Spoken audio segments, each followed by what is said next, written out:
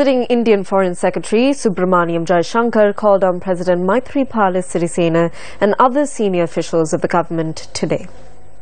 The visiting Indian Foreign Secretary met with leader of the opposition R. Sampanthan. During the meeting, he had also held discussions with members from the Tamil National Alliance.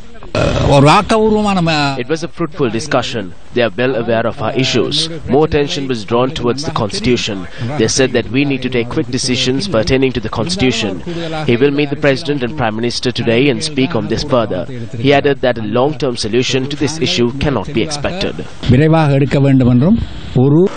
Later, the visiting Indian Foreign Secretary met with a group including Minister Mano Ganesan, P. Digambaram and V. Radha Krishnan at the Indian High Commission in Colombo. The Indian Foreign Secretary also met with Arumugam Thondaman and Muthu Sivalingam. Jaishankar called on President Maithripala Sirisena this morning. The foreign dignitary was also due to meet with Prime Minister Ranil Wickremesinghe this evening. Meanwhile, the New India Express reports that Jaishankar undertook this visit to keep himself abreast of the latest developments in the nation, besides keeping track of the existing Indian development projects and to explore possibilities of future engagement in the development and commercial sectors.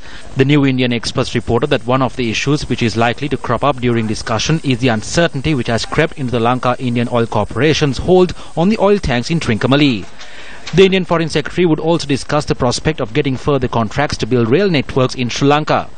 Meanwhile, according to the New India Express, there is talk on developing the Trincomalee port with an economic zone around it.